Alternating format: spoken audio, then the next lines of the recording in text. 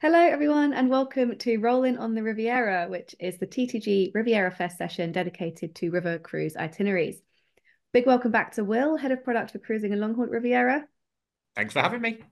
Oh, absolutely. And so, what's coming up today in this session? We're going to talk through all the wonderful river cruise itineraries that clients can choose from when they travel with Riviera. That includes which rivers they can explore, what themed itineraries and festive cruises look like, as well as which sailings Will recommends for different seasons. We're also going to touch on cruises for solo travelers and what makes them great for this lucrative market. If you have any questions Will, please do pop them in the chat box as always during these sessions, and we will leave time for a Q&A at the end. So, Will, launching into the questions, uh, how do you categorize your river cruise itineraries first? Um, and, and depending on how you categorize them, why have you decided to group them that way? Sure. So, the, the bulk of our itineraries are what we call our classic itineraries. So they're just the, the, the classic itineraries that you're used to, that uh, are the sort of mainstream kind of things. And then we've also got our themed itineraries, which we'll probably come on to a little bit later on. Uh, we launched those uh, in December last year, so fairly new for us. Um, really interesting way of, of seeing the rivers in a slightly different way. Then we have our festive itineraries, which, as the name suggests, they're all, all based around uh, December and, and, feeling nice and uh, uh, Christmassy. And then we have our solo itineraries, which again we're going to come on to. Uh, they're dedicated for solo travelers. And finally, uh, our most recent one is our combination cruises, which we launched uh, only about a couple of months ago. So still quite a new thing for us here, but very exciting. And then in terms of why we've categorized them like that, it's just a natural evolution of the way that our, our business has gone. So we started off with the classic mainstream ones. And then as, we've, as we've responded to uh, customer demand and suggestions, we, we've brought in new things. And so that's just the way that uh, things have evolved for us. Okay, great. And I've noticed on your website, you've, you've grouped them as European river cruises and worldwide river cruises as well. So, so first, tell us about the European river cruise itineraries and which rivers are you operating on? So we operate on all of the major European uh, rivers. So that's the Douro in Portugal, the Danube, which goes through Austria, Hungary, and Slovakia. And then we have our two French rivers, so the Rhone in the south and the Seine in the north. And then the uh, the Rhine in Germany and the Moselle. And then that uh, also branches onto the Main Canal as well. So that's basically all the major waterways uh, throughout Europe that we cover.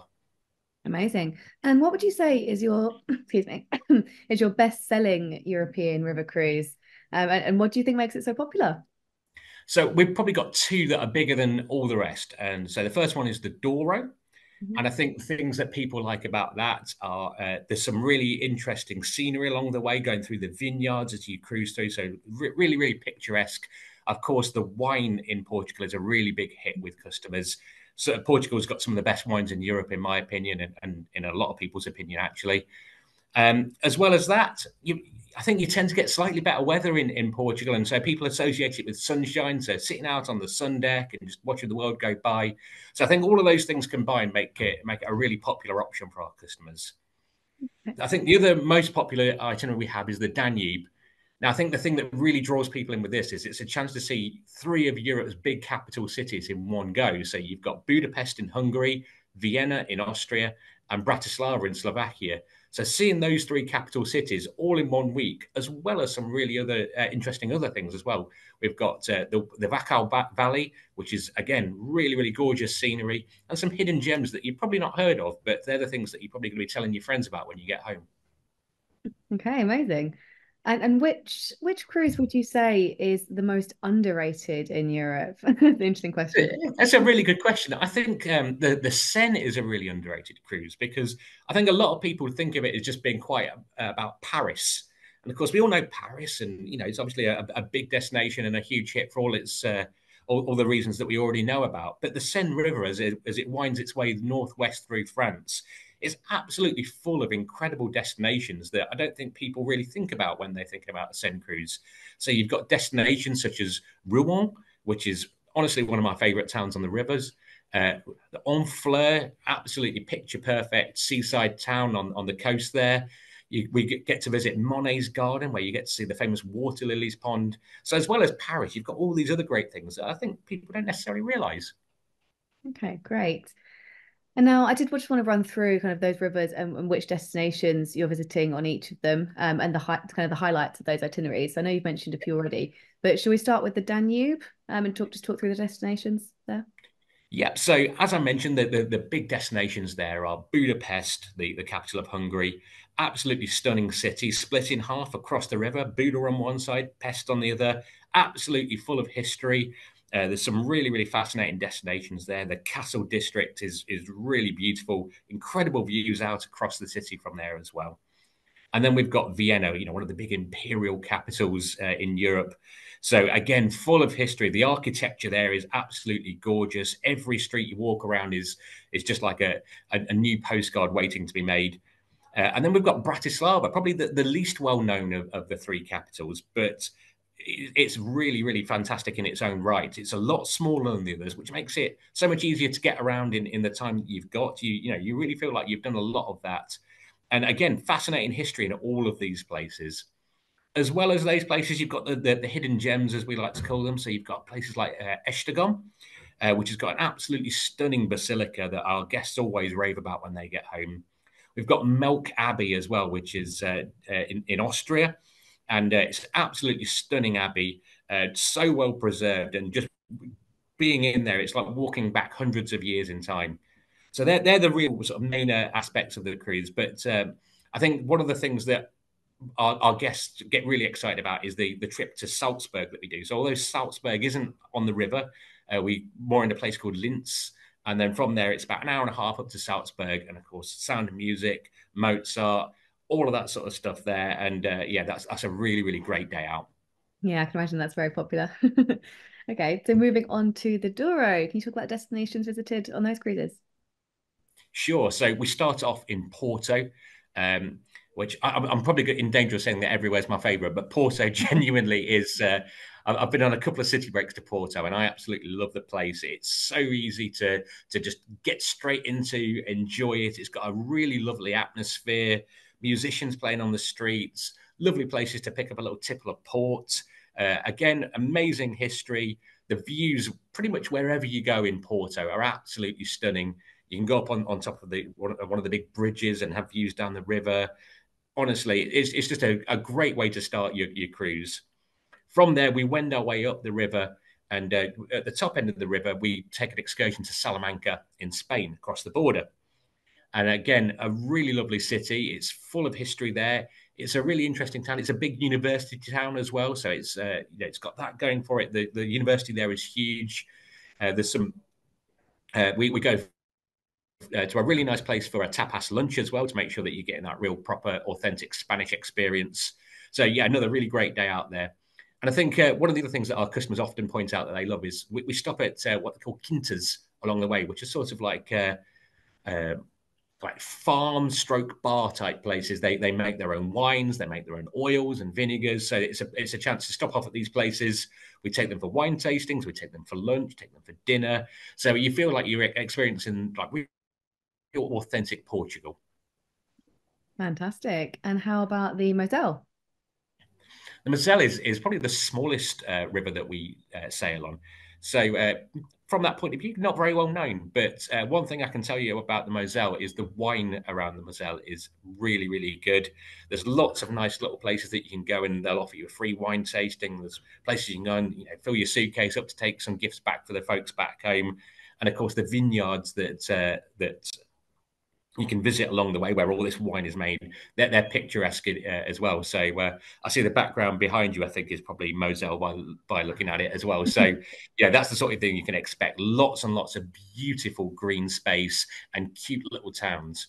Another thing I like about the Moselle is that we uh, visit Luxembourg uh, while we're on our um, Moselle cruises. Now, a real sort of underappreciated part of Europe. Not a lot of people know it. They probably hear about it in the Eurovision Song Contest, and, and that's about it. But uh, really interesting city, very very sort of clean and and and very nicely kept city. So it's a real real pleasure to walk around Luxembourg. I really like it. Fantastic. And next up on my list we have the Rhine. The Rhine. Well, the thing that I always think of when I think of the Rhine is the Rhine Gorge which is probably the most picturesque sailing that you can do in Europe. The the steep uh, slopes that go up either side of the ship as, as you're sailing through, it's it's like like nothing you've ever experienced before. I absolutely love it. And as you're sailing through this incredibly dramatic scenery, there's there's castles upon the uh, on the hilltops.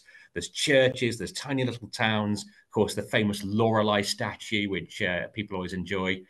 And uh, as we sail past, we enjoy our, our Rudesheimer coffee, which is a, uh, a rather boozy, creamy uh, version of a coffee that they have in that part of Germany. So that just really enhances the uh, the experience as well. As well as all of that, I think uh, you, you, can't not mention Cologne, which is a, uh, a again a, a, fabulous city, so full of history. The cathedral in Cologne, one of the biggest in the world. It was the biggest building in the world at one point, I do believe, as well. So um, yeah, again, just a great place to go and have a look round. And then the other place that really sticks out for me on the on the Rhine is, is Rudesheim, which it, it just feels like the most chocolate box Rhine German town that you can imagine. It's all just very, very cute and lovely.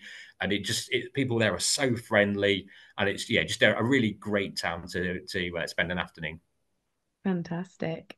And not to be confused with the Rhine. What about the Rhone? Which destinations are you, are you visiting on that river? Yeah, definitely not to be confused because they're very different. But, um, uh, our, our cruise starts off in Lyon, which uh, is a, it's quite quite a large city. Uh, lots going for it. It's uh, probably one of the uh, big culinary capitals of uh, France. So uh, lots of really nice places to go and try some things, get yourself a little macaron or you know another bottle of wine to take home. Uh, but also lots of really interesting history there. The Romans were there for a long time. The, you can go up to the cathedral at Fourvière and have incredible views across the the river from there. So great place to start the cruise. And as we wend our way down, one of the big uh, uh, things for our guests is the Ardèche Gorge.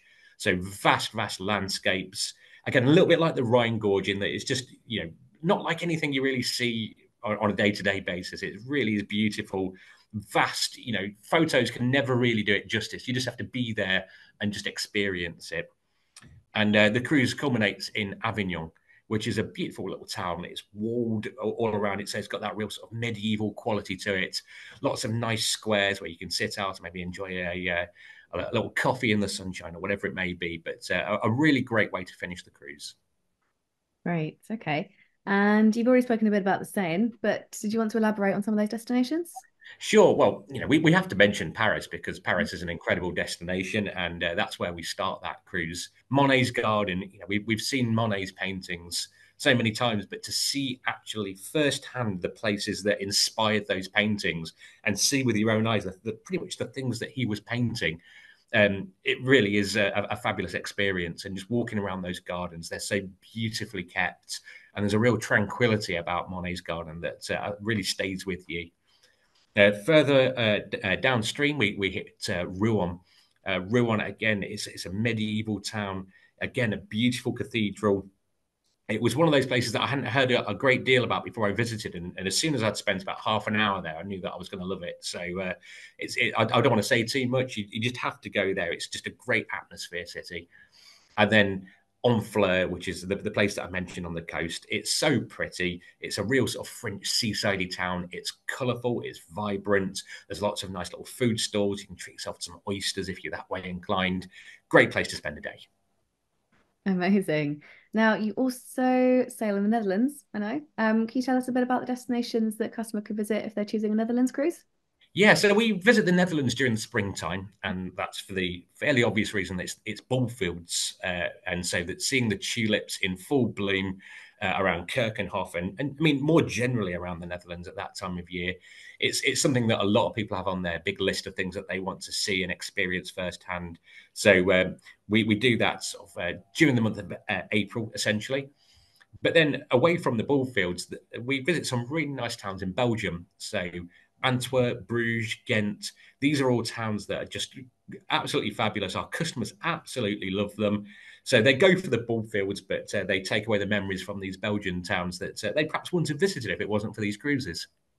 Yeah, interesting opportunities there. Okay. So that's Europe. Um, now, can you tell us about the worldwide river cruises um, which which operate which rivers are you operating on um, outside of Europe? So we've got two at the moment. So we operate on the Mekong, which is uh, in Vietnam and Cambodia. So it's a very different proposition to, to our European river cruises. The ships are, are smaller. Obviously, the, the, the scenery is incredibly different, and the sorts of places that you're visiting incredibly different. So they, they have the, the, commonality in that you're on a, a beautiful floating hotel and, and visiting place to place. But other than that, it's quite a different experience. So, for example, on the Mekong, we visit a town called Cai Be, uh, which has a floating market you, just feel like you're in a completely different world. It's fabulous. And of course, we go to the the capital of Cambodia, Phnom Penh. Uh, you may have seen it on Race Across the World uh, recently. I think it was on last week's uh, show. Um, it's a great city that that uh, combines obviously interesting history with various things with Khmer Rouge, etc. But it's it's modernized quite nicely, but it's re- retained some of that real sort of traditional villagey style stuff. And there's a lot of like street food stores where you can get yourself a nice little snack and you know real great place to have a little bit of a wander around and and like as I say, the history around that place it, it's fascinating. It's not always comfortable, but it is fascinating. And then uh, outside of the Mekong, the, the other river that we operate on is the mighty Nile. So probably needs no real introduction from me, but um, we, we sail all the way from Cairo uh, down to Aswan. So we're one of the few operators that does that long cruise all the way from Cairo down to Aswan. So it's a it's a nice little thing that our customers come to us for because they can do that full uh, experience with us.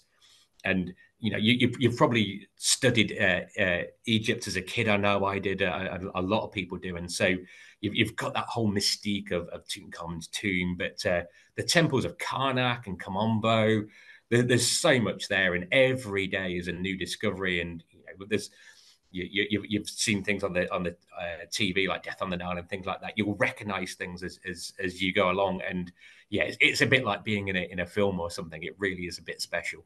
Yeah, certainly is a bucket list trip. Well, it is for me anyway. okay, so moving on to your themed cruises. So, um, what themes can customers choose from, um, and how do the themes tie into the destinations they're visiting? W- would that Netherlands um, cruise count as one of your themed cruises? Uh, we don't actually include that in our themed range as okay. such. Um, so we launched our themed cruises at the, at the end of last year. And so we tie each theme to the, the itinerary that works best to showcase it rather than sort of just crowbarring them anywhere. So, for example, we have our gardens and natural beauty cruise, which goes along the Rhone. So we've talked about the Ardèche Gorge, but we also include extra visits. So we visit a lavender museum, which of course synonymous with uh, the south of France. Uh, the garden uh, in uh, Arles, where Van Gogh was inspired to paint some of his work. Uh, the uh, beautiful botanic gardens in Lyon. So lots of extra little things in there, as well as getting all the big hits from our main itinerary as well. Um, unsurprisingly, food was another thing that our customers said that uh, they, they, were really keen to uh, incorporate even more into our holidays. So we, have got two food themed cruises. One is on the Douro, now that's brilliant because we've talked about the tapas lunch up in in Salamanca. We've got port tasting, we've got wine tasting, as I mentioned, Vinho Verde, the the, uh, the Portuguese wine, some of the best in Europe, and then uh, pastel de nata, which I'm sure we've all tried at some point, but uh, having it, an authentic one from a Portuguese person, for some reason it just tastes nicer. So we like that a lot. Uh, and then just as you go through some of these smaller places like Pinhal, Regua, we, we, visit smaller producers where you get to try the local delicacies as well. So that's a really nice cruise. And um, we do a, a Swiss, uh, Rhine Cruise to Switzerland uh, food version as well. So that starts off up in the mountains eating uh, mountain macaroni. So uh, have a, a beautiful cast iron pot, very traditional dish we work our way up through the Black Forest, enjoying Black Forest Gateau and some uh, schnapps if you're that way inclined. Um, finishing up in Cologne, which of course famous for its uh, chocolate at the Lindt factory. But of course, a few other surprises along the way. Uh, we have a music themed cruise along the Danube. There's so many great composers that have uh, lived and worked in that area, from Mozart, Beethoven, Strauss.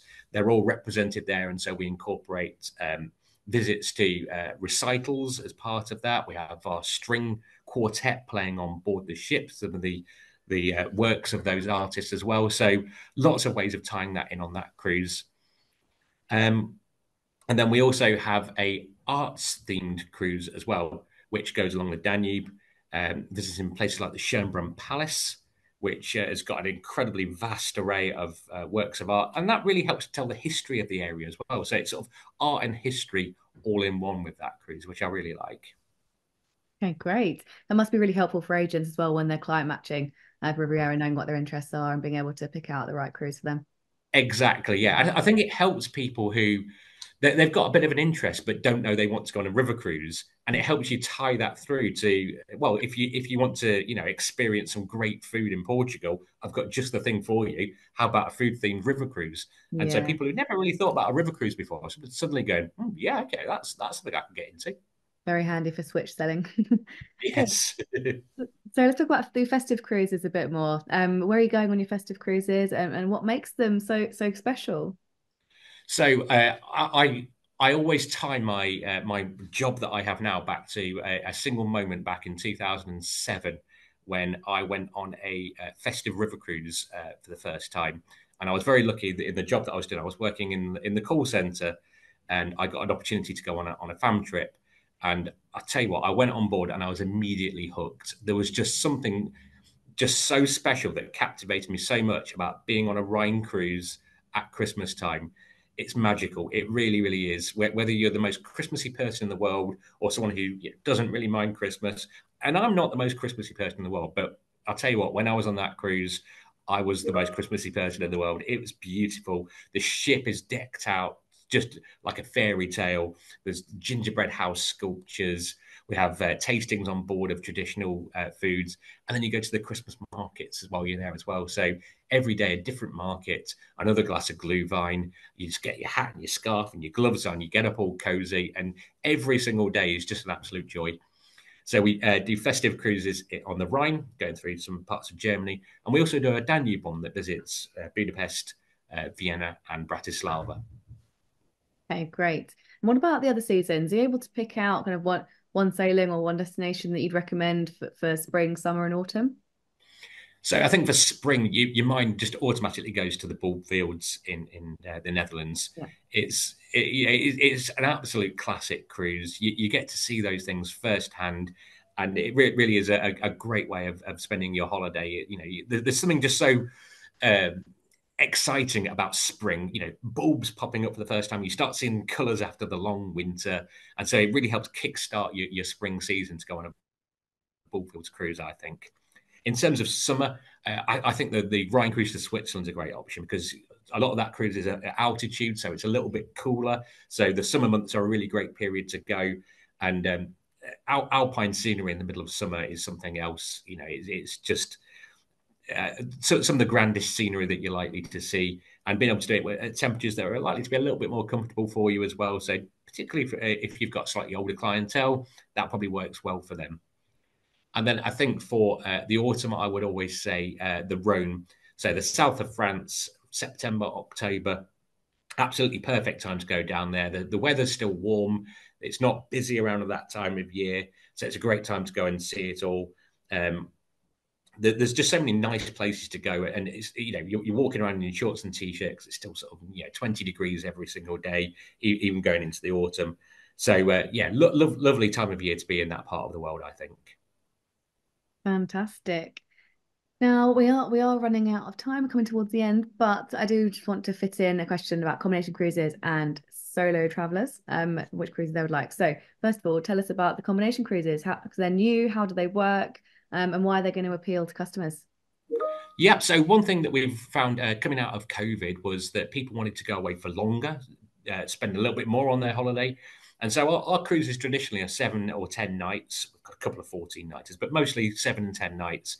And people wanted that something a little bit longer. So by combining a, a cruise one that, that, goes straight into cruise two and, and creating this combination cruise, uh, we've been able to offer longer uh, durations, so from 14, 17 up to 28 night durations. And the great thing is, you're on the same ship, you don't have to change your cabin, so you stay in the same cabin throughout. So you can enjoy a month on board one of our beautiful river cruise ships. Great way of doing it. Fantastic. And what about um, your your solo river cruises for, for solo travelers? Um, which rivers are they on? Are they on all of them? Um, and what makes them suitable for solos? What what makes them different? So we're, we're so proud of our solo uh, range of cruises because we take the whole ship and make it exclusively for solo travelers. So everyone gets a full size cabin to themselves no sharing. And th- there's, there's so many benefits to that. First of all, it means that everyone on the ship is in the same situation as you. You don't have to feel like a third wheel, like a gooseberry or anything like that. everyone on on there is on there as a solo traveler. So immediately breaks down all the barriers, just makes you feel so much more comfortable. Another great advantage is we still have the exact same amount of crew, the same amount of space. So it means that you're getting twice as many crew uh, per passenger. So a really, really good experience from that side of things. Plenty of room in the lounge, plenty of room on the sun deck. So you know the, the ship's got half as many people on, so it's just a bit more of an exclusive atmosphere and we, we have our solo cruises now available on pretty much every single river that we operate. And as I say, we're, we're really proud of, of what we're offering to our, our, our solo travelers. And, uh, you know, we're, we're only looking to do more going forward. Yeah, it's brilliant. Really interesting to hear. Okay, thank you.